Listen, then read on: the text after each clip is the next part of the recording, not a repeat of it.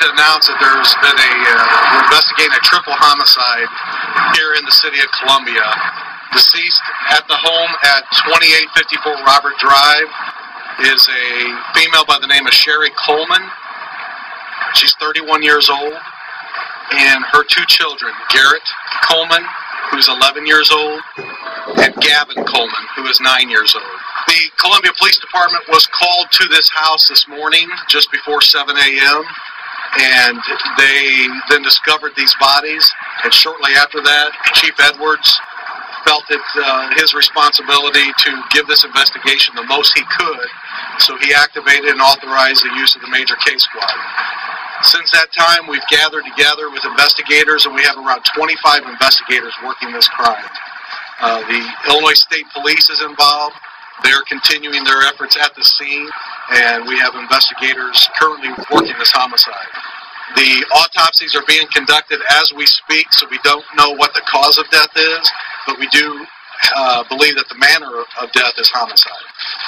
Well, this time it's so early on, I don't want to speculate into any motive. And if I go into random, then that means it's, there's maybe a motive behind that. I really don't know. We just, we're following leads. We have leads in this case. We're following them. And, uh, you know, I would, I would just let everyone know that we're doing all we can to find out what happened in this house. I'm not going to confirm any condition of the house inside. Uh, I don't think it's prudent upon us to, to comment on anything like that of any evidence that's at the scene. I can confirm that there was some police interaction prior to this, but we're not going to get into any specifics about that. I don't want people to think that that's the only thing we're looking at because um, uh, an investigation of this magnitude, you have to look at all, all different areas. But that is one of the things that we are looking at. There, there was some interaction between an unknown individual and them that just was suspicious in nature. Don't even know that it was a crime. It's just that they contacted the police and wanted to document some incidents. But I really don't want to get into any of that right now. It's just too early on in this investigation. As always with something like this, we need the public's help. Right now, we don't have a suspect in custody, and we're asking the public's help if they know anything at all to contact the Columbia Police Department. We've developed information that we believe one person is in, is actually involved in this homicide. Well, we believe that this was not a random act, but it was actually intended to kill the three members of this family. At this time, we are not going to release the name of that individual. This is a very serious case, and we don't want to jump to anything, but to put the public at ease, we don't feel this was a random act. We feel this family was targeted it's been very tough on Joyce Meyer. She's put out statements. She's put out her condolences to the family, and she said she's, you know, praying for everyone in the family. So it's a tough time. Joyce Meyers of uh, Worldwide Joyce Meyers Ministry says she's praying. Good to know. I'm glad she's praying. Somebody needs to pray. The entire family of her employee found strangled in their own bed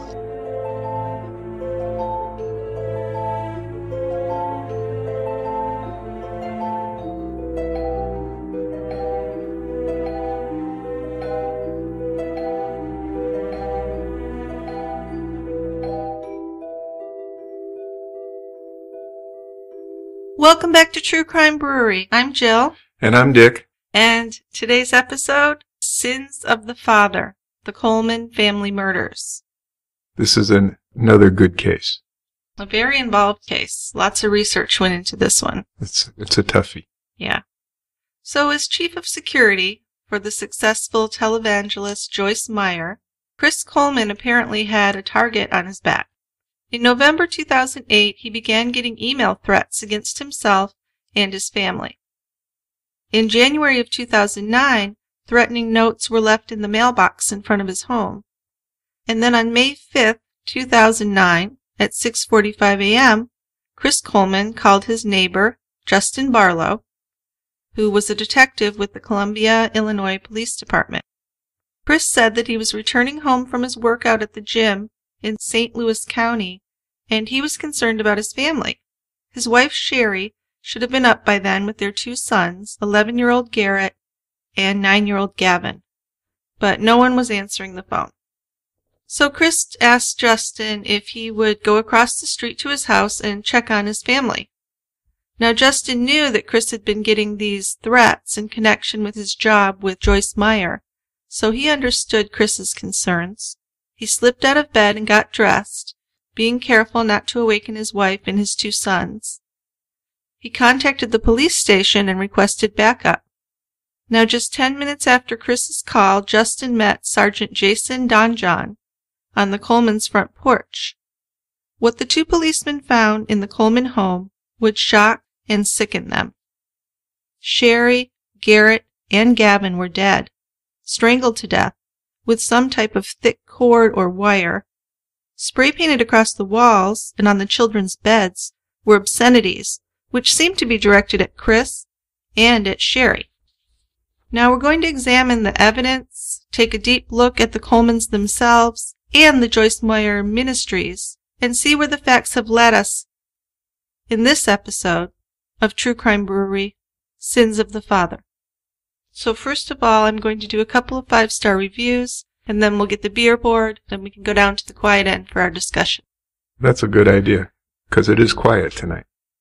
It's very quiet. No baseball. No baseball. So, let's read a couple five star reviews.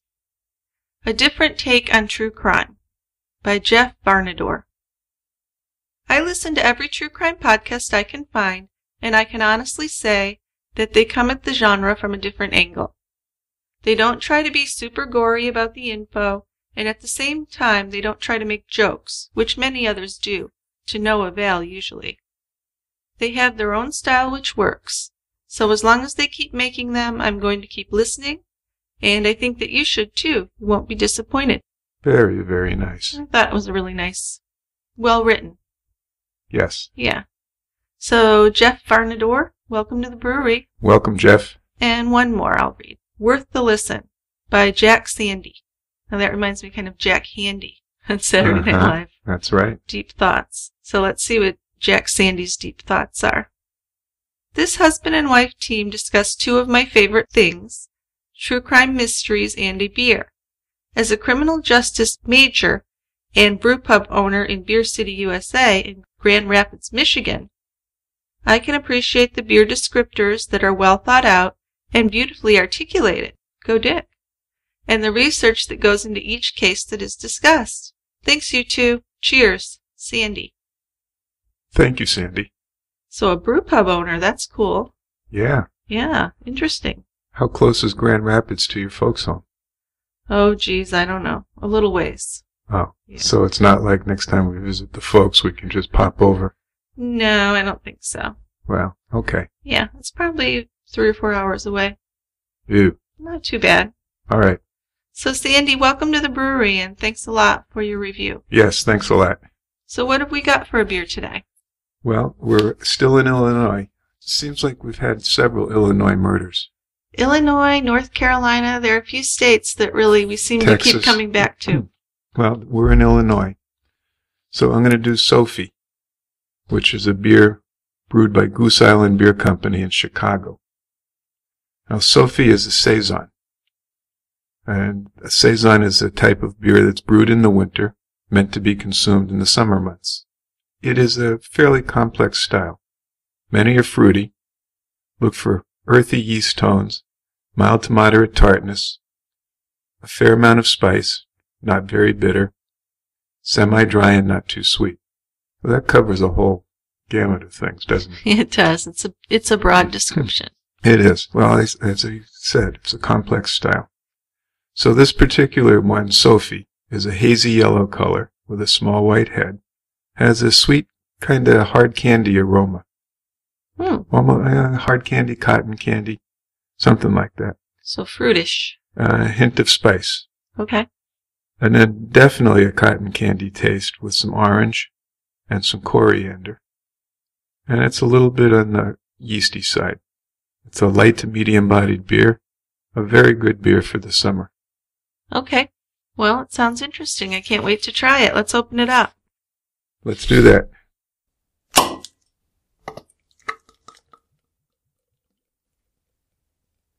All right, Julie. Let's head on down to the quiet end. Enjoy the beer and talk about the case.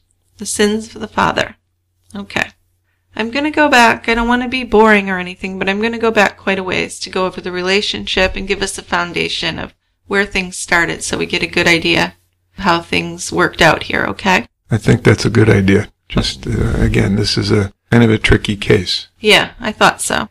Sherry was born to Angela and Don Weiss on July 3, 1997, and she grew up in Cicero, an old town only seven miles west of Chicago. Now, it was a diverse neighborhood where Sherry explored and played stickball on their street. She joined the Girl Scouts and she watched Chicago White Sox games. Now, she had one older brother, Mario, and Mario was very protective of Sherry. When Sherry was 10, the family moved to Tampa Bay, Florida, though. So Sherry adapted well there, though. She was friendly and outgoing. She played for her high school varsity softball team. She was also a cheerleader for the Largo High School Packers football team. Now, her best friend in high school was Tara Lintz, who was in the drama club with Sherry. And they graduated in 1995. Around that same time, Sherry's parents divorced, and it was it was a rough divorce.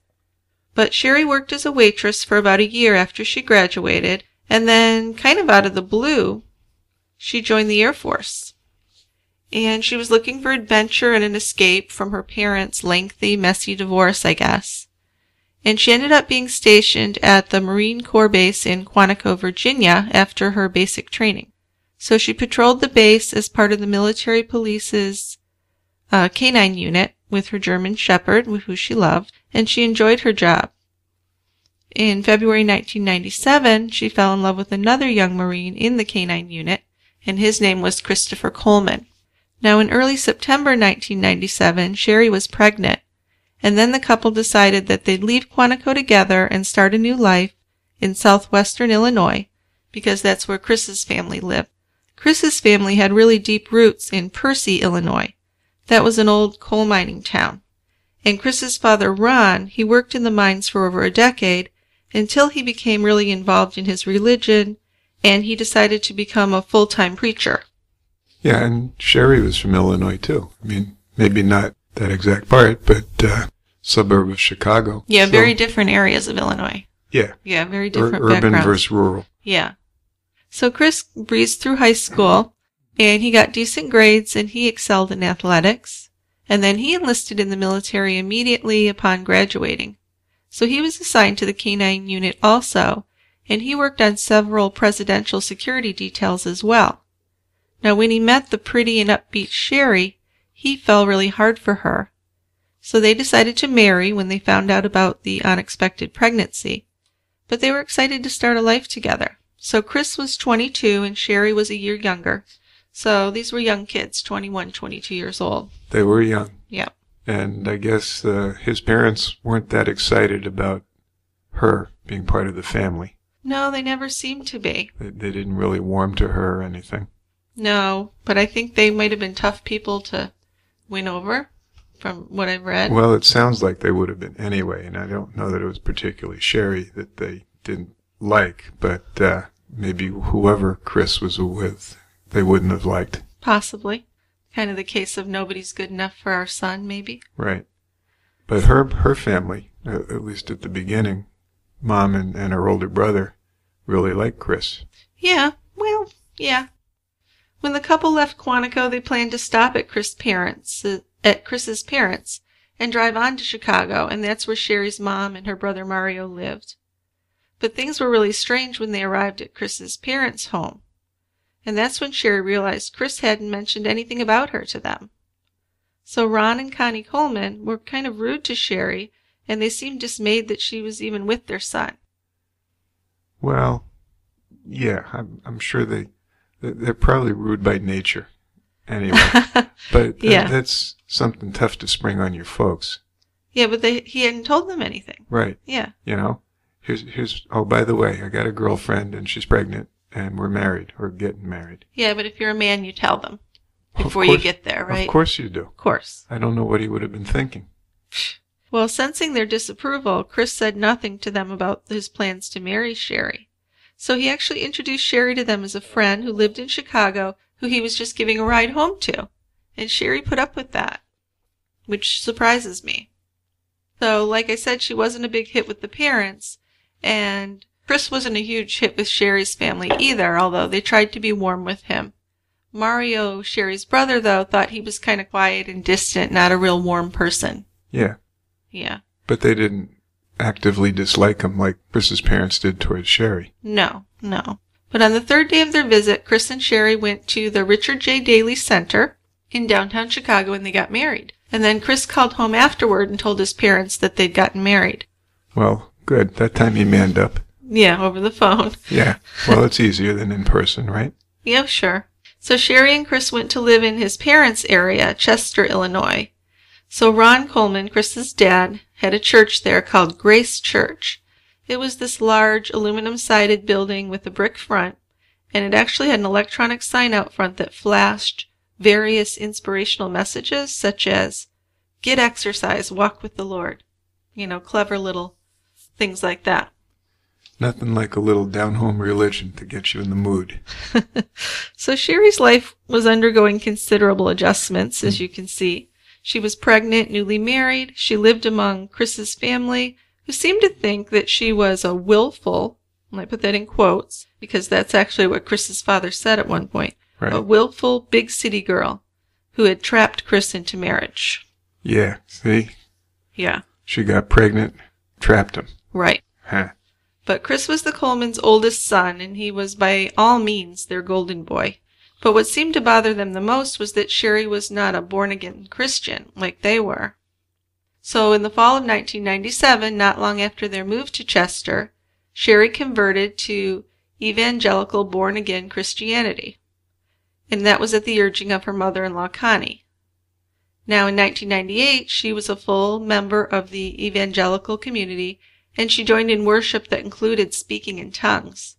So this was pretty, pretty out there. This is hardcore. Yeah. I mean, the only thing that would surprise me more was if you told me they handled rattlesnakes too. Yeah, I don't know. I didn't hear anything about them doing it, but yeah, I could see that. Speaking in tongues is pretty dramatic. It sure is. Garrett was born in 1998, and most people said he was a spitting image of Chris. Ron and Connie Coleman met Joyce Meyer at a prayer conference, and Joyce had said that she needed someone to train a guard dog for her. And that's when Ron and Connie introduced Chris to Joyce Meyer. So Chris trained her dog, and soon he landed a full time job in the security department of Joyce Meyer's ministry, and that was based out of Fenton, Missouri. So Okay. Fenton, Missouri was quite a distance from Chester. So Chris and Sherry moved to the St. Louis suburb of Affton, and in late 2000 he applied for the position as the head of security for the entire Joyce Meyer ministry, which is a huge organization. And then they had a second son, Gavin, born in January of the year 2000. Well, he must have been pretty impressive. I mean, he he's gone from training the, the dog Yeah, to having a job with the security department I know. to being head of security in what seems like a relatively short time. Seems like it. Seems like he was ambitious. It, it must have been, and they must have seen something in him that wanted them to hire him as chief of security. Yeah, but I thought it was interesting that when he applied for the position as head of security, the application actually had a spiritual criteria section on it. Have you ever heard of anything like that? Any jobs you've ever applied to? Well, I, I apply to normal jobs. Oh, jeez. Well, okay. I, I wouldn't. Maybe I didn't mean it exactly that way. Okay. no. You've I- never worked for a religious I've- organization. I've never worked for a religious organization. And what's the spirituality clause? Well, I guess it's where you have to write your qualifications. It's the spirituality criteria, not clause. Criteria. So Chris wrote that he and his wife were born again and that he began to speak in tongues back in 1986. So this was something to be proud of in this religion, I guess. And he added that he did not drink, smoke, or use drugs and that he didn't have any other bad habits. So he got the position and with the help of an ex-cop named Dan Ward, he wrote a whole new procedural manual for the security department. And then Sherry began working for the ministry as well, and she worked actually in world outreach as part of a team that would travel with Joyce on missionary trips. And also during that time, she found the time to become an EMT. So these were motivated young people. They sure were. I'm impressed And- by and all these- they did. These trips, these missionary trips, were like to China and far, far away places. Right. They weren't just traveling around the central United States. Oh no, these are big trips. Yeah. Now, as the two boys grew, their personalities were notably different. Garrett was quiet and reserved. Gavin, on the other hand, was a real performer. Big goofy smile and known to enter a room performing a somersault or a cartwheel and then looking around for the reactions in the room. Ta-da. So he sounds like a real cutie. But Chris was a stickler for order and obedience, and he demanded that everything be put in its place and that the boys used their indoor voices. On the other hand, Sherry could be kind of indulgent, their friends said, so Chris was the disciplinarian. Now, the ministry employees had said that Chris was a perfectionist, very tightly wrapped, without a friendly demeanor, and he could be explosive over seemingly minor things. But it didn't seem to matter to Chris what his coworkers thought of him, because he was really riding high, doing well. I mean, he was Joyce Meyer's right hand man at this point, at a pretty young age, so Yeah, he was doing quite well for himself. yeah. Right? Mhm. Uh, I don't know what he was making at the beginning, but he ended up making over a $100,000 a year Right. as her chief of security. Mm-hmm. But we're going to find out that all might not have been as well as it appeared Sure, sure. with his job. Right. Of course, it's True Crime Brewery. It's not That's They right. All Lived Happily Ever Brewery. no, we don't. We don't do that, do we? No, we don't. So Joyce Meyers has defined herself as a practical Bible teacher. She's also a prosperity preacher. Mm-hmm. So what a prosperity preacher is, or, or prosperity theology, is a belief among some Christians that financial blessing and religious well-being is always the will of God for them, and that faith, positive speech, and donations to religious causes will increase one's material wealth. So basically what that means is that the parishioners give money to Joyce or whoever is the leader of the flock, Sure. and this allows, pardon my cynical view, No. this, this allows the leader to live a very, very comfortable lifestyle. Which is good. Why? For everybody else? Well, because there's kind of this trickle down effect and it keeps everyone happy, Ah. supposedly. So that's kind of the classic televangelist thing. Send me money and God will send you money. Right. Yeah, I don't know why people believe that. I don't believe that. Now, well, and there's plenty of people that criticize it, obviously. Sure. And a lot of Christian denominations criticize it. They maintain that it's an irresponsible faith, uh, promotes idolatry, and even worse, is contrary to Scripture. Sure, I would So- think so. I mean, I don't know, but I think a lot of religions they take a vow of poverty, and I would think the whole point of it. I'm not a religious person, but from what I know of religion, I thought you were supposed to help other people and share in the wealth, and One would think. yeah, But this prosperity preaching works out well for the, the person doing the preaching. sounds like it. So during public appearances, Joyce is not shy about preaching about the material benefits of faith. God has made her rich, she says, and if you stay in your faith, you're going to get paid. She blatantly appeals for money at her conferences. Plus, she's got tables full of merchandise, calendars, coffee mugs, CDs, books, audiobooks. As she speaks and preaches, there's a large video display on either side of the stage that reads, buy hundred dollars, buy five hundred dollars worth of product and get one hundred dollars free. Yeah, that And how- was in one of the videos. can you turn I that stuff down. What? How can you turn it Oh, down? man. You mean you're being sarcastic? I am. Okay, I, I just, but it's so blatant. That's what stuns me. I know. And It's people, such- and fall people- for that stuff. People do it. Yeah, I just, I, I don't understand it. I don't either. No. But it obviously works for her. And you know, if you're a religious organization, you're tax exempt as well. You are. You really can't lose in that scenario, financially at least. So like a lot of other preachers in her position, she has her detractors. Sure. Count me among them, I would say. So she, she people find her preaching disingenuous, gimmicky, and exploitive Sure. of poor, unwitting followers. Check, check, check. I would Right, agree. right, right. Right. But one thing you might have to think though, Yeah. because he's in the prologue, he was getting threatening letters and, Yes, and yeah. emails. Right. So you, I don't think you could overlook that someone might resort to violence against her. I, yeah, I think that would be possible. Someone, someone could feel squeezed. Maybe they make fifty thousand dollars a year and they've just given her ten thousand or something like that Well, why would they do that then, though? because she talked him into it. Well, I don't know. I kind of can't blame her if they're falling for it unless they're in some way vulnerable. If they're mentally Well- challenged or elderly or. I don't know Vulnerable they're necessarily mentally challenged, but I think they're all vulnerable because they forked up the money. And I think that these people prey on people like that. Well, let's not get on a soapbox here. All right. But I- I it was. I don't want the evangelicals after me. I don't think we have a big evangelical following, but you never know. You never know. So anyway, it was Chris Coleman's job to keep Joyce Meyers safe. So when he received a significant pay raise, the Colemans moved to a new subdivision in Columbia Lakes, Illinois. Now the house was a white two-story colonial with an attached garage. They moved in in 2004. So this seemed like the perfect family neighborhood, and Sherry was really thrilled with the whole thing. She was a city girl, and this was all everything she could have hoped for. Now, Sherry made friends in their new neighborhood. Her neighbor Vanessa had a boy near Gavin and Garrett's age, and the boys spent a lot of time at Vanessa's house, even some overnights. Yeah, they were good buddies. Yeah.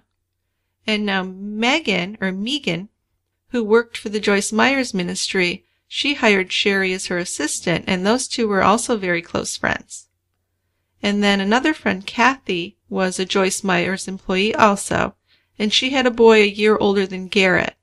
So she was a good friend as well. But these three women didn't know each other, so even though Sherry had these three friends, the three friends never had a chance to compare notes on things that Sherry told them about her life, which will become important as we get to the crime. It certainly will be. Yeah. But Sherry seemed to be fighting a losing battle in winning the affection of her in laws. So this was important to her, and it just wasn't working out. Well, I think if if I were her, and this is all hindsight, Sure. but his parents are cranky old bastards, especially the father. So, you know, I would just say, screw him. I don't have to have a relationship with him. I don't think that was really an option with Chris, though. Well, it wasn't. But, no. You know, God. She was really trying. So, despite their coldness toward her, she drove to Chester several times a month to visit Ron and Connie. So, Chris was not only the chief of security for the ministry, but he also got to become Joyce's personal bodyguard. And this was because uh, Ron and Connie had introduced him, and they had kind of been following Joyce for a long time. So, Joyce knew Chris from the time he was a child you know, they weren't like close personal friends, but she knew of him Right. because they followed her a lot. They followed her and they, they modeled their Yeah, church after were- her stuff. Yeah, they wanted to be like that. Yeah, Yeah. They were on a much smaller scale. way smaller. But anyway, Ron and Connie were bubbling over with pride with Chris's position in the church, as you can imagine. This was Well, like the best thing ever to them. Yeah. And in their eyes, he could really just do no wrong. So one Memorial Day weekend in 2008, Sherry's friend Vanessa and her husband noticed that Sherry had a lot of bruises on her upper legs. Vanessa realized that Sherry usually wore long sleeve shirts and long skirts or pants, so it occurred to her then that maybe Chris was abusing Sherry. But she just couldn't believe that. She couldn't convince herself that that was true because he really seemed like an ideal husband and father to her. The people in the neighborhood actually looked up to Chris. So around that time, Sherry sent her friend Megan a text.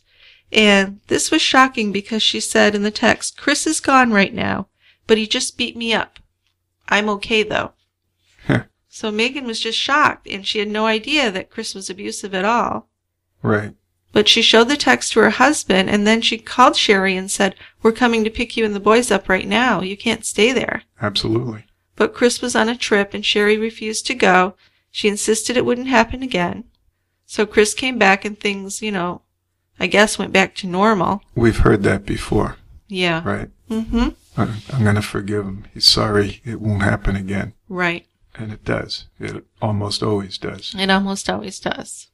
So we have a friend who's noticed mysterious bruises Yes. and another friend who Sherry's spoken to and said she was beaten by her husband. Right. But these two friends don't talk to each other, so they Right. haven't shared So this. they, they can't compare notes or anything. Right. So, at future meetings with Megan, though, Sherry told her that they were getting along and things were great with Chris and it hadn't happened again. So, Sherry was obviously covering it up. Right. But I noticed uh, in the the stuff we've looked at Yeah. that she did vacillate back and forth. She she vacillated about beatings and mal- maltreatment at his hand versus everything's hunky dory in the marriage. Well, I think he could easily win her back over. I think he was charming and she was, she just went for it and believed it. Yep. Or she just wanted to so much, I guess. So, but she had kept in touch with her high school friend Tara Lintz. But Tara was divorced now and living in the Tampa Bay area.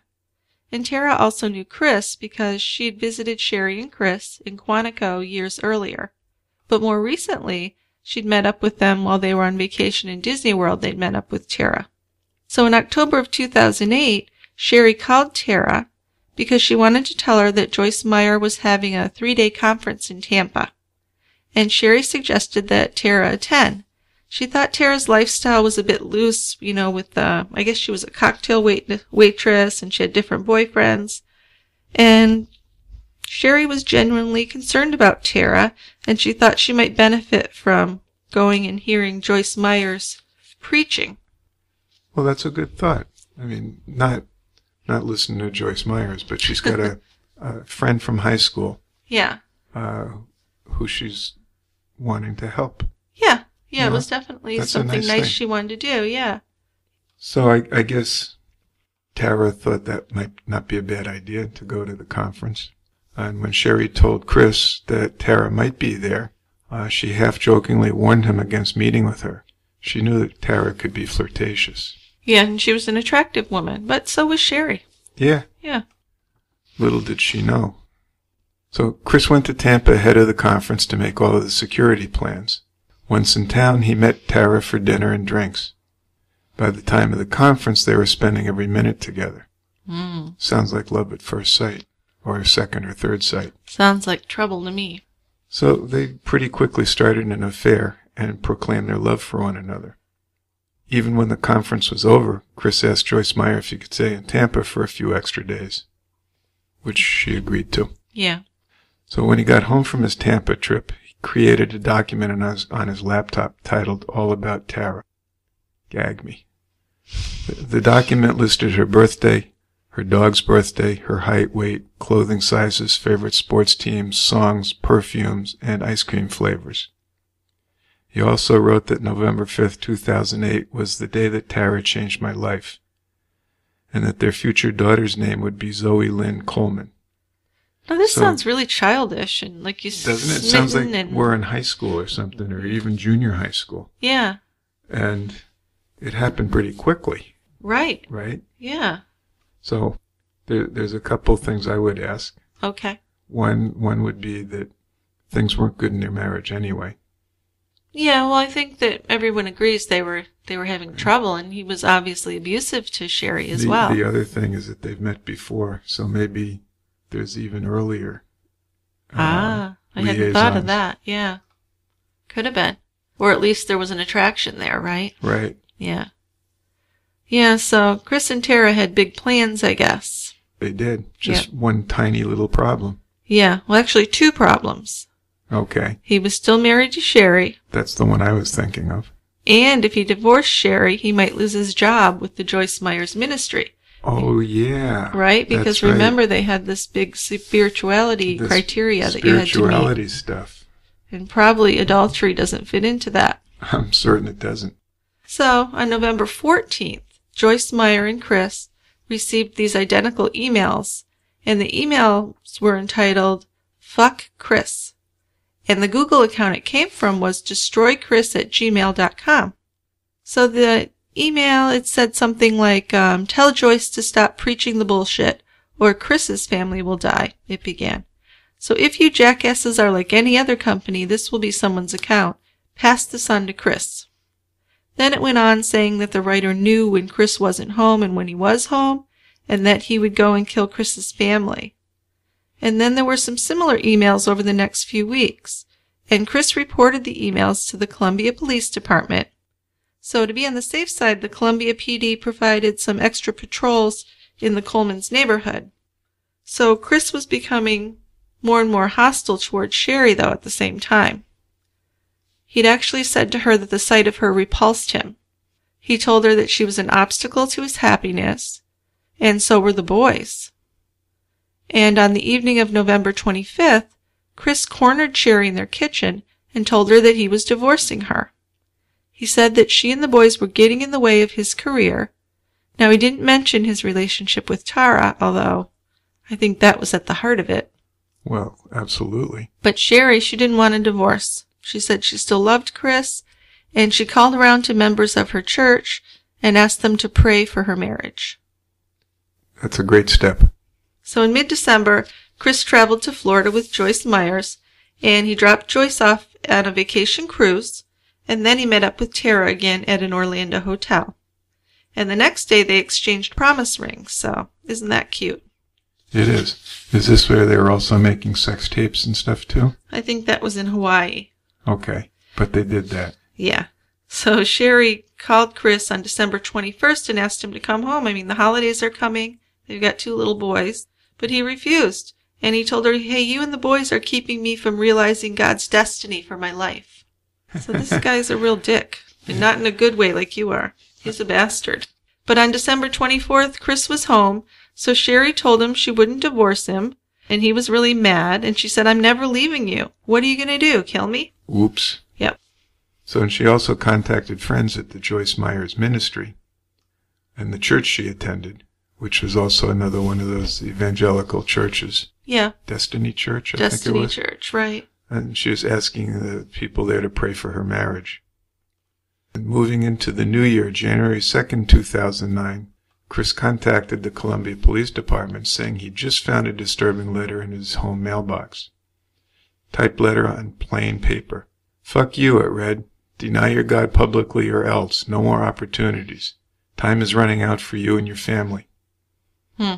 So maybe Sherry overheard one of Chris's phone conversations or saw some text, but she eventually figured out that Chris was having an affair with Tara. Right, yeah. So she's getting desperate now. Uh, and she decided to call Joyce and David Meyer's son Daniel in an attempt to save her marriage. Joyce and Dave met with Chris the next day and asked him about his marriage. He didn't admit to an affair, but admitted to marital problems. Hmm. They asked him to go to marriage counseling with a pastor from their office. So yeah, he can't admit to an affair, right? That would, I mean, divorce would certainly jeopardize his job. Well, But- especially if it was because he had an affair, that would Right. make it even worse. But the adultery would probably put the kibosh on his career with Joyce Meyers also. Well, yeah, I guess if Sherry had divorced him, it would have been okay, and that's what he wanted. But Yeah. Sherry refused to do that. Well, if, if she divorced him and they never found out that he'd been having an affair, right, he'd be safe. right. But that's not, she wasn't going to grant him a divorce. No, she wasn't. So Chris had to attend the counseling, because otherwise he'd lose his job, of course. Right. But he was really furious with Sherry, as you can imagine. I'll bet he was. And over the next few months, Sherry gave conflicting reports of her marriage to family and friends. Sometimes she told people that things had improved, and other times she admitted that Chris was verbally abusive, and he told her that she and the boys were ruining his life. And I'm betting at this time that he was very abusive because he was angry. I think that's a pretty accurate statement. Yeah. So in the on the other hand of things, Tara gave Chris a deadline for serving divorce papers on Sherry. Right. So he told her he's divorcing Sherry to marry her.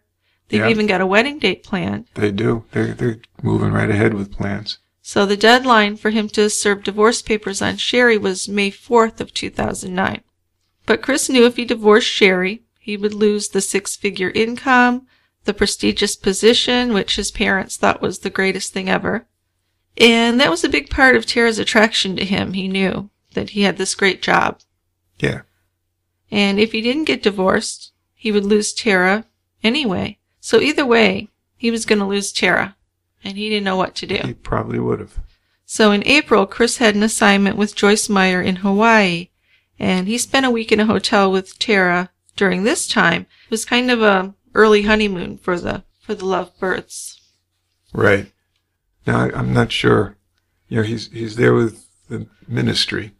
doing security? What, did he hide Tara the whole time? She just stayed in the hotel room? I mean, Probably. they, they couldn't be seen together. Not with Joyce Meyer, but we do find out that he did. They did go out as a couple a lot in Florida and other places. Yeah, When where- Joyce wasn't around. Where they wouldn't be seen yeah. Where they wouldn't be seen by certain people. by the wrong people Right. Right, or the right people. But Tara's friends down there knew they were a couple and thought they were getting married. Yeah. So they get back from Hawaii.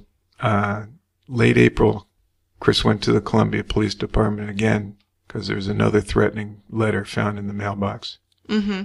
Sounds like the last one. Fuck you, the letter read. This guy's really literate, isn't he? Yeah. Yeah. I am giving you your, the last warning. Your worst nightmare is about to happen. Jeez. Wow. And there's there's more fuck yous in there too. Okay. So the guy across the street who is the detective, Justin Barlow, Yeah. Um, he agreed to set up a video surveillance camera in the window of his son's bedroom, and from there he could watch the Coleman's mailbox. A couple days later, Chris installed a home security system. So he's got something in his house. His neighbor's got something doing the outside of the house. Should be covered, right? I would think so, yeah. They're, they're being careful. So on May 1st, the Colemans had their neighbors, Kathy and Bob LaPlante, over for a backyard barbecue. Chris took Kathy and Bob down to the basement after dinner and showed them the security DVR system. He was proud of it. Yep. He also told them that the previous evening, one of his outdoor cameras had caught a masked figure putting another threat letter into their mailbox. That's what he said, although that would turn out to not be true. That's a lie. Yeah, because we have the other camera The across other- the street. The other camera never saw Didn't see that. Right, so if we go to Monday morning, May 4th, Chris called into work and said that he had to take the day off. Now, Chris had never called out from work before. I mean, never. Right. So he took the boys to school, he went grocery shopping, and he spent the rest of the day at home. And around 6:30 p.m., Gavin and Garrett were playing at their neighbor Vanessa's house with um, her son Brandon, that was about Garrett's age. And they asked Vanessa if they could spend the night. So Vanessa said, "Oh, of course you can, because every year on May 4th, the boys stayed over because they would celebrate Brandon and Garrett's birthdays, which were less than a week apart. So Brandon's was on April, no, Garrett's was on April 30th and Brandon's was on May 5th, I think, or vice versa. But the two boys had birthdays like a week apart, so for the past several years they'd spent the night together. Yeah. Yeah, on May 4th. But Chris told the boys they couldn't stay over. He said it wasn't a good night for it. And Vanessa was kind of surprised, but what's she going to say? I know. right? So she watched the boys as they walked home. She sent them home about 8:25 p.m. that night and said, "We'll do it another night." So Tara called Chris that evening and asked if he'd served Sherry with the divorce papers. It was May 4th, that was his deadline. But there were no divorce papers. Chris hadn't even gone to a lawyer. Right. Now he couldn't divorce Sherry and keep his job at Joyce Meyer Ministries. A very big quandary. But he couldn't tell that to Tara. So he told her the divorce papers had some typos and that the lawyer was having them redone, and he would serve them to her the next day, May 5th. So Chris went up, he said prayers with the boys that night and tucked them in and kissed them good night, and he also texted Tara Lintz over 50 times that evening. So at 6:43 a.m. on May 5th, Detective Justin Barlow's cell phone rang and it was Chris Coleman. He said that he was concerned about his family. Sherry should have been up with Garrett and Gavin, and she wasn't answering her phone. So he asked if Justin would mind running over and checking on them. So Detective Barlow called the police department for backup and walked over to the Coleman's house. He rang the front doorbell, he waited, he rang it again, but no one answered. And then he started thinking, well, where's Chris? He should have been there by now because when he called, he said he was crossing the Jefferson Barracks Bridge, which was uh, no more than seven minute drive from there to the house. So before Chris even showed up, Sergeant Jason Don John pulled up in a squad car and he parked at the curb. Now it was 6:53 a.m. It was 10 minutes 10 minutes since Chris had called. So Don John left Barlow on the front porch and he went around to the rear of the house. There was a basement window open, and the grass in the backyard was dew covered with no footprints on it. So he radioed Barlow up front in the front of the house and he told him to come out back. So Barlow came around with him and shined his flashlight through the window. The basement floor appeared clean. The window was unlocked and opened. The screen was just sitting um, next to the house, neatly. And Don John radioed dispatch for backup because he found this all quite odd, quite an odd situation. Nobody was answering the door. It's early morning. This window's just open. What's going on? Exactly. And I would have been suspicious from the start. Just because, I mean, if the guy's six, seven, eight minutes away from home, why is he calling to have someone check? Yeah, that's kind of No, weird. And then why isn't he there? Yeah. And then You think you'd hurry home if you were if, worried. if he was worried, I mean, if he's worried, I wouldn't have even called. I would have gotten home fast. yeah. And if I'm worried enough that I call my police officer neighbor, I'd still be hurrying home. Yeah, why not He- just call 911 if you're that concerned? Kind of meandered home. Yeah. It's So- suspicious. It sure is. But we're going to find out that it, they were suspicious of him almost from the get go. Yeah, yeah. So the men climbed through the window with their guns drawn. Don John called out Columbia PD several times, but no one answered. The house was silent. Barlow led the way upstairs to the main floor. They are hit with a strong smell of spray paint. On the kitchen wall next to the doorway were framed family photos. Someone had sprayed a message in red paint across the wall and on some of the photos. It said, fuck you. See, this guy is still pretty That literate, sounds isn't he? familiar. Yeah. I am always watching. On the adjoining wall, another message. I saw you leave. They would slowly move into the living room where another spray painted message said, Fuck you, bitch. Punked. Punked. Punished. Punished. Uh, That's tough writing to read. yeah, It's a spray paint. yeah. On the wall of the stairway to the second floor, another one read, You have paid. Oh, so, So that was That's ominous, isn't it? It's an ominous thing, yeah. Yeah, so Officer Steve Patton also arrived as backup. And he came to the house just as Chris Coleman was pulling into his driveway. So at this point it's 6:56, which is 13 minutes since Chris had called Justin Barlow. So he's a good five minutes later than he would have expected. Than he should have been, yeah. And This is from a guy who's supposed to be really worried about his family. yeah. Sorry, I'm taking all your thunder here. no, you're not. No, they heard the garage door open because Chris had pulled in and opened the garage door, and the policeman told Chris to stay outside while they did a search of the house. Chris didn't argue or say, No, I want to see my family, I want to come in, anything like that. And the three policemen reached the top of the stairs together.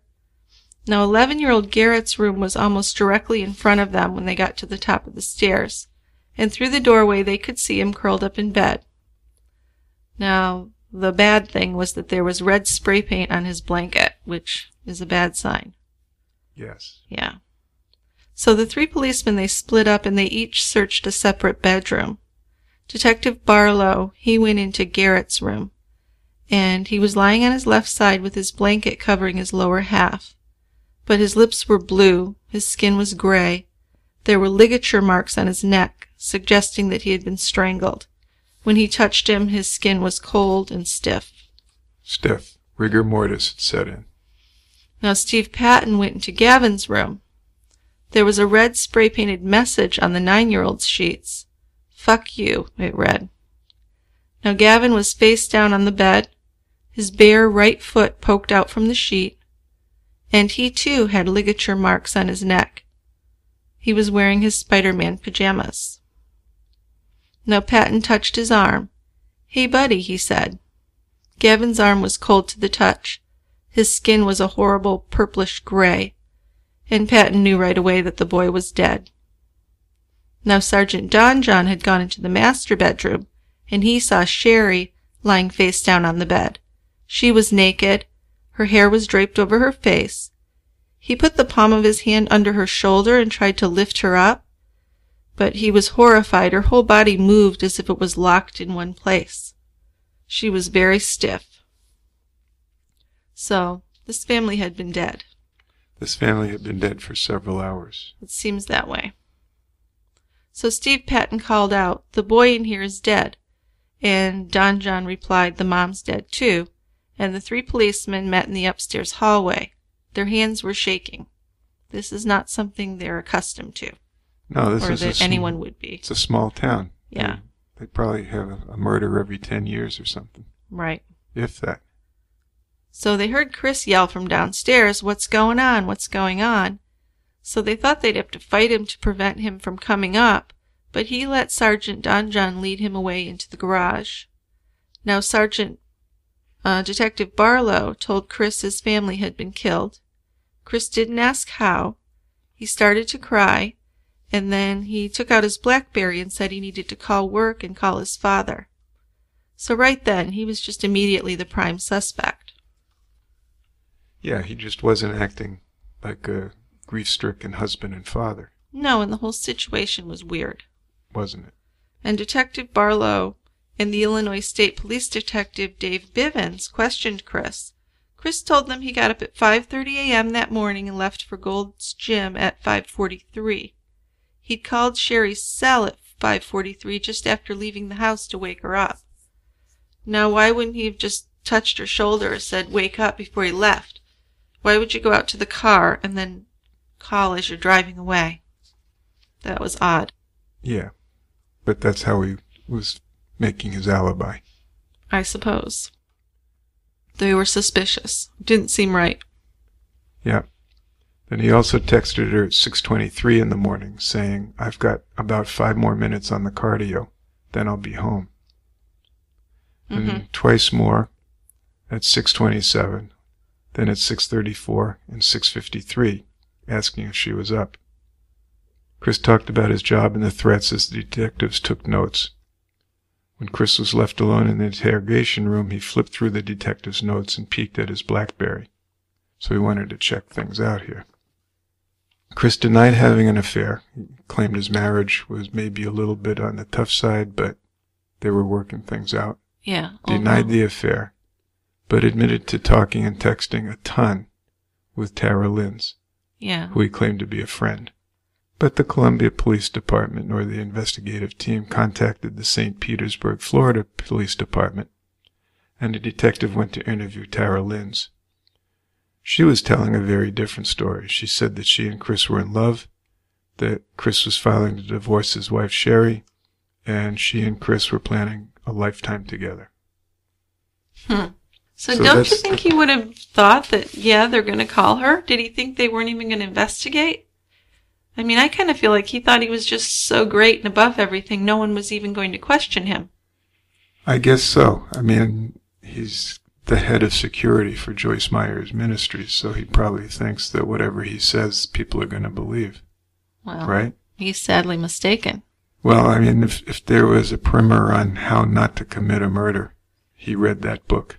Yeah, right. I mean, there, there's so many things, and, and I know you're going to talk about almost all of them, or all of them, Yeah. but uh, it's obvious that the police suspected him from the very start. Yes. they made sure they eliminated other possibilities, other possible suspects, but he's the one. Hmm. Well, like you said, he initially denied that he was having an affair with Tara, and he changed his mind when he found out that Tara was talking to them. Well, what's he going to do? So still he tried to downplay the relationship, though.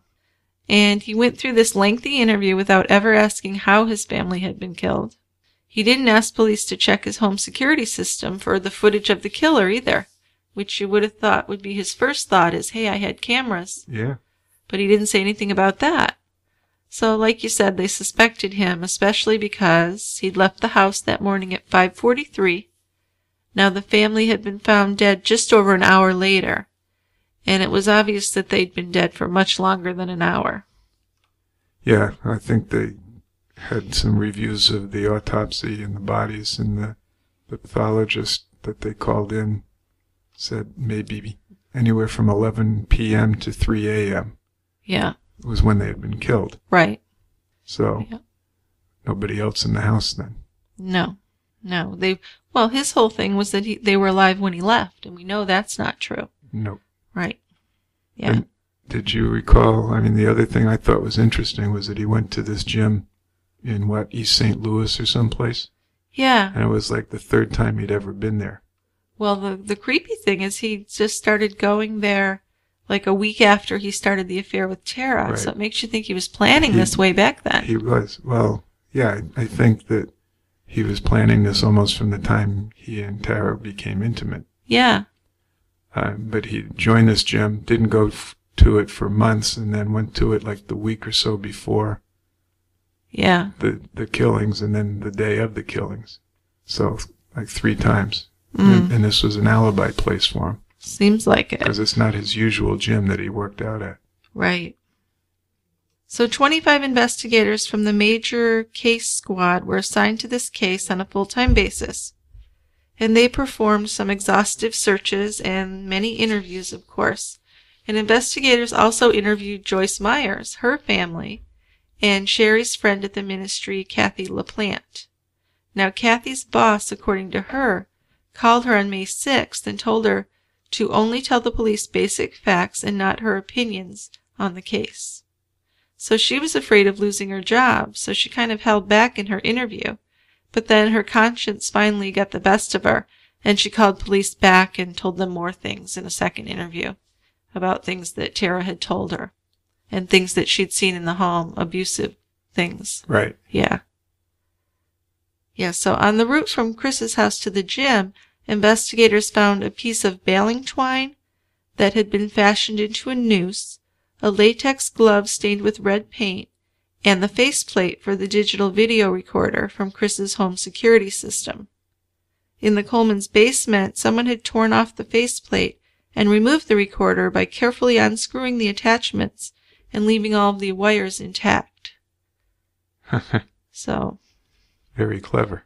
well, I don't know how clever that is, but they did see there were some um, bales of hay out back, and one of the one of the twine, uh, one of the baling twines was missing, Right. and it turns out that that was it. And it was the same same twine yeah, that was used or probably used to commit the murders. right.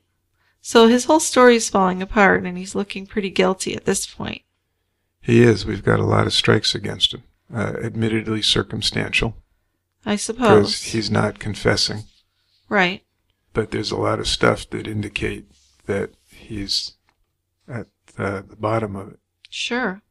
I don't know. Are the bodies being dead for so long? Is that circumstantial? Well, I guess. Yeah, I it- guess it it is. is. Yeah. But he was the only one in the home. There was no DNA showing anyone else.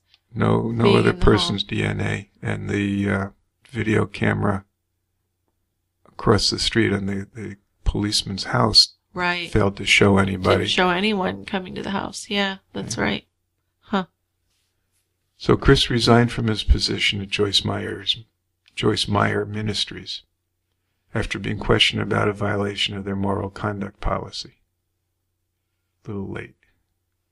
Joyce Meyer testified that she was unaware of his affair until police told her when the case went to trial.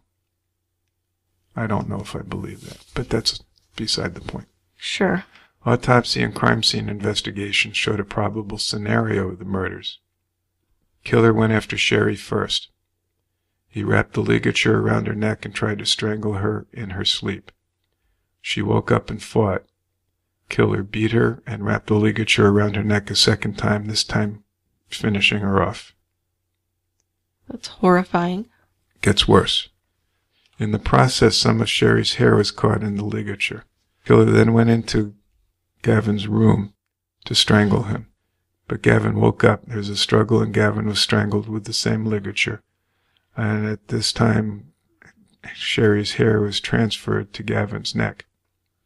Then he went and strangled Garrett. So Garrett probably saw his own father as he killed him. Yeah. Blech. Yeah, it's horrible. Yeah, so searches of Tara and Chris's cell phones revealed that Chris had texted Tara from the interrogation room actually on May 5th. So his family's just been killed, he's being interrogated, and he's texting his girlfriend. Good move. Yeah. So he also had texted her from Sherry Garrett and Gavin's funeral. Now, Chris had tried to delete most of the compromising images and texts from his phone while he was in the interrogation room, so that's part of what he was doing as well as texting her. But investigators were able to retrieve them because they have ways to do that, which I guess Chris Coleman didn't realize. As a security person, you'd think he might have known that. You would, Yeah. but I guess he wasn't that sophisticated. That I guess the explanation was that the, the things get saved. It's kind of like a hard drive on a computer, Right. and you can erase them, but they're never completely gone. Right. Well, I think a cell phone is a computer, right? Well, it is. Yeah. Yeah, it is. Now, Chris's laptop revealed that he had sent the email threats from his laptop, or someone had sent them from his laptop. Right. And the written typed threats from January 2nd and April 27th were also typed up on that laptop, They were. which read, that just led the investigators to believe that Chris had been planning the murders since way back in November 2008. He had, and and the theory was that uh, Tara was forcing his hand because she was expecting divorce papers to be served, Right. and he needed to act, Sure. Well, that makes perfect sense. doesn't it? Yeah. So Chris was arrested at his parents' house on May 19th. So just two weeks later. So he wasn't really getting away with it for very long. No. And at his arraignment, he pled not guilty to three counts of first degree murder. In September, the case was designated as a death penalty case, and the judge determined that Chris was indigent and he was assigned two experienced death penalty defense attorneys. So good attorneys. And I read that actually, if you get designated as a death penalty case, you actually are lucky in some ways because you get more money and you get better attorneys. You get the cream of the crop. Right. Now, the prosecution had continued its investigation, of course, and it was revealing some striking similarities in syntax, style, and spelling between Chris's writing samples and the threats from the letters and also on the walls. Well, they already know that doing the the IP search that it was Chris's computer, and now they know that the handwriting is similar. Right. Uh, Circumstantial still. It Of course, the defense attorney said anyone could have used that computer.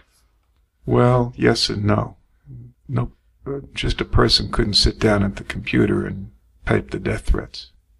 No? You needed passwords and everything. Oh, for the emails. Right. Right.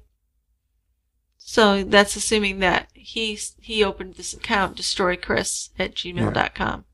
Right. Because I think those were the only emails sent from that account. The only emails were the threats. Yes, Yeah, that was it. right. And it would be virtually impossible for another person to get into that account. Well, they'd have to physically be in his home.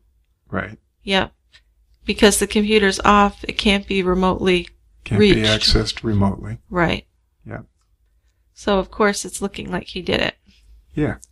So the prosecutor had irrefutable evidence that Chris had sent the threats. Plus, there was a huge amount of circumstantial evidence. So I was just going to go over a few of the things, which we've already kind of mentioned. We have, but I, th- I think if you list them in succession, I, I think people will see what a strong case they had against him. Sure. So first of all, there was his odd behavior when he returned home on the morning of the murders. Also, what we didn't mention at that point is he had scratches on his arms. That he Right. said that he said that maybe he'd gotten them by hitting the gurney, but he'd only hit the pillows on the gurney. Right. Because when it happened, an ambulance came and he was sitting in the back of an ambulance for a while. He was. And a preacher, somebody mm-hmm. from the ministry, came to talk to him as well as his father. Right. And he actually tried to hide the scratches at the police station during the interrogation. Yeah, he said he mm-hmm. was cold, asked for a blanket, Right. And, it was hotter than hell in the interrogation. and room. wrapped his arms. Yeah. Yeah. Now, he hadn't been in the habit of driving to the gym that he went to the morning until, um, this is that gym we were talking about, which is a, was a ways away. So he'd never started going there until November 15th. And that was the day after the threatening emails were sent. So it seems to just work into being part of his plot. Right. Right. So he text messaged Tara continuous, continuously on November 14th, except there was a lull between 8 p.m. and 9 p.m., and that was actually the time when the Destroy Chris at Gmail account was created. So that's awfully circumstantial, Yeah. very coincidental. that's for sure. Yep. And then on May 4th, he told Garrett, he told Garrett that it wasn't a good night to sleep over at Brandon's house. Even though that was a habit or Right. a, a particular tradition that they did. Now that's probably the one that haunts me the most. That just gives me chills. That he wouldn't let the kids spend the night at the friends. Well, he needed to kill him. Oh, that's just You know, isn't that horrible? it's so horrible. I can't I can't believe it. I just really have a hard time believing that he did this. I don't understand it at all. I don't either. They said he actually played catch with the boys the day before. Took them for snow cones, Yeah. tucked him into bed. They showed pictures of him from the neighbor's video camera. That's right. They're out in the front yard Playing catch. playing catch. Jeez. Wow. Just too much. Too much. So, to ensure an impartial jury, jurors were selected in Pinckneyville, Illinois. And then they bust them in for the trial. So I'd never heard of anyone doing that. Me either. But I, I mean, guess they- it's cheaper than moving the whole trial. Yeah. But Yeah. they, they would bust these people in and out each day. Yeah. Huh. Yeah. And the trial began on April 25th, 2011. And then the jurors began their deliberations on May 4th. So that's like two years later, because he was actually convicted on May 5th, 2011. You know, exactly to the day, two years after the murders. Right. How weird is that? Very. Yeah. So on May 6th, there was a hearing to determine if Chris was eligible for the death penalty, and the hearing was only a formality because Illinois' new anti capital punishment law was going to take effect on July 1st. So he was technically found eligible, but the judge sentenced him to life imprisonment, life imprisonment with the poss- without the possibility of parole. So Chris was sent to the Pontiac Correctional Center, a maximum security prison about 100 miles south of Chicago. Forever. Ex- Yes, for Except life. he's been moved. He's been moved to another one. Right. Yeah. But he's not ever getting out of jail. No, no, he's in prison for life. So, some interesting things that I read about was this prosperity gospel which we mentioned earlier. Now, if you if you read about it, you could wonder, did it foster Chris's sense of entitlement? Does it foster narcissism?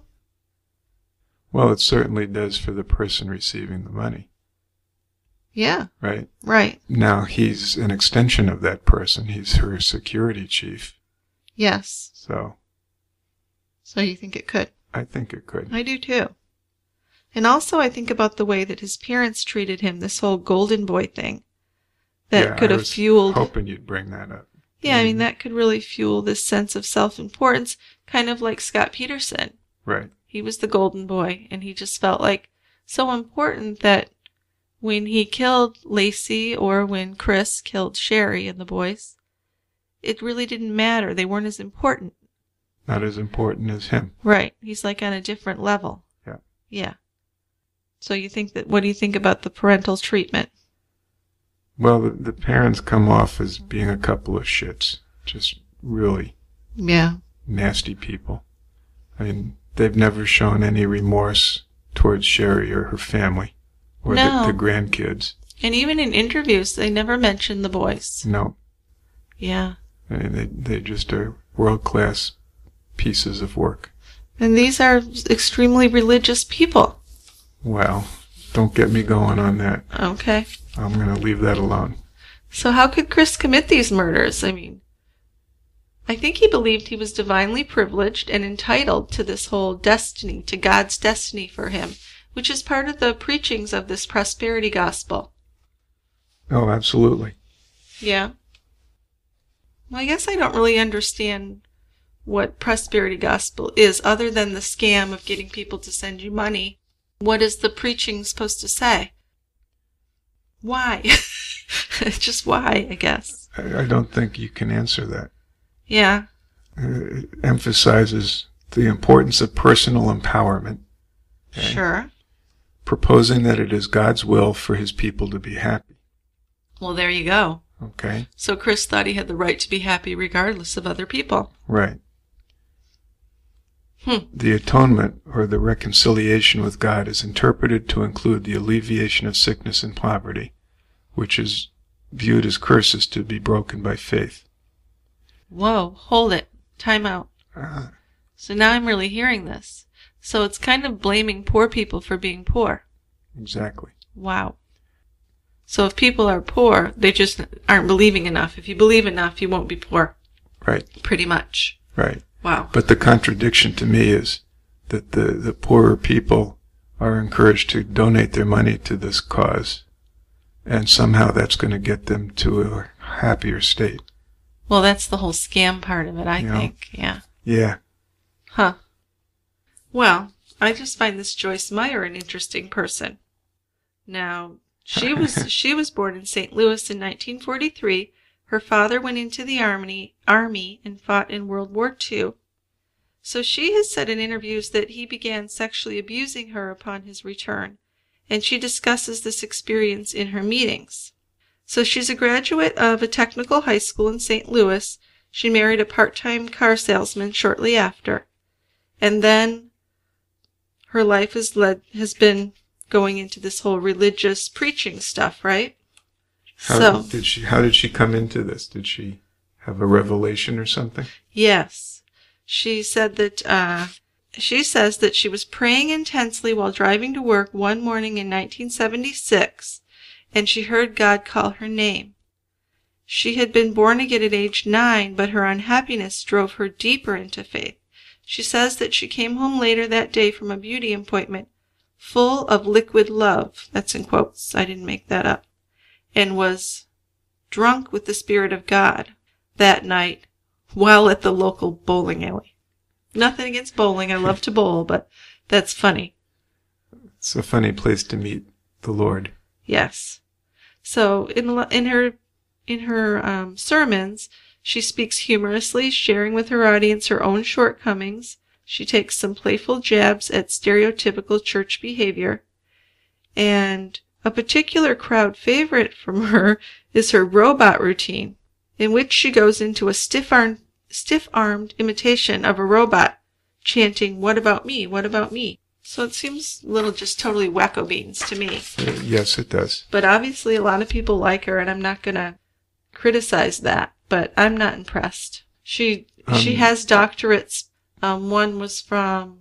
She has a doctoral degree from Life Christian University, an unaccredited institution in Tampa. That's down by where Tara Lintz lived. Right. Now, she's also been given an honorary doctorate of divinity by the Oral Roberts University. So, I'm going to go out on a limb and say she's not really educated. You think? That's that's a limb. Careful it Is doesn't a get limb? sawed off. there. Okay. All right. Um, no, she isn't. She's No. got some phony degree from a non-credited school, Yeah. and then she's got an honorary degree from Oral Roberts.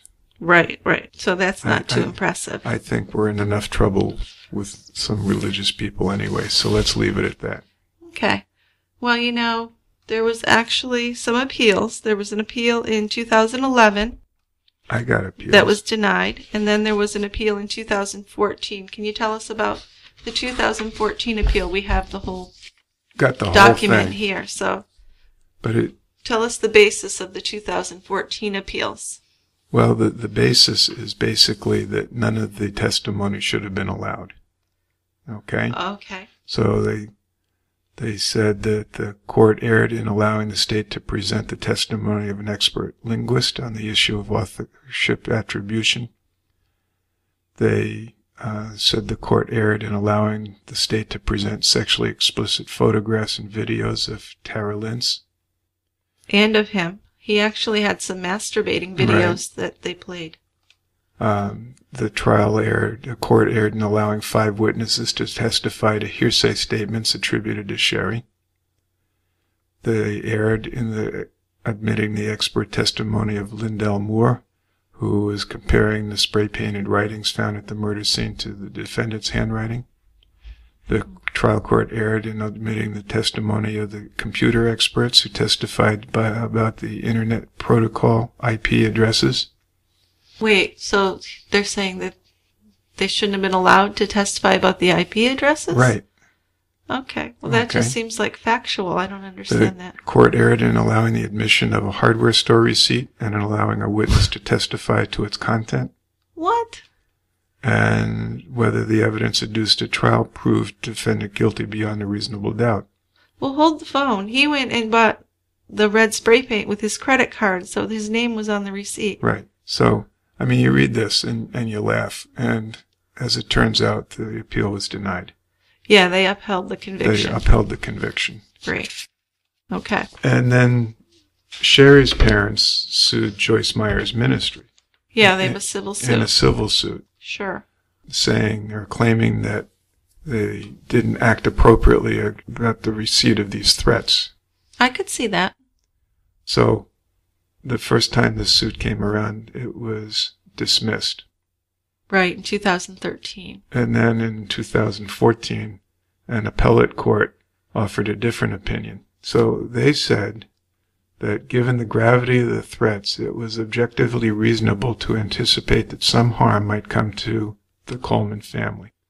And it may also be reasonable to infer that Sheri Coleman did not have an equal and independent means to investigate the threats, and that Sheri Coleman, relying on Joyce Meyer's ministry's promises to investigate the threats and to provide security, did not take steps to protect herself and her children from the threatened harm. So they're basically saying that it was beholden on the ministry to investigate them. I agree, but then on the other hand, Chris was their chief of security.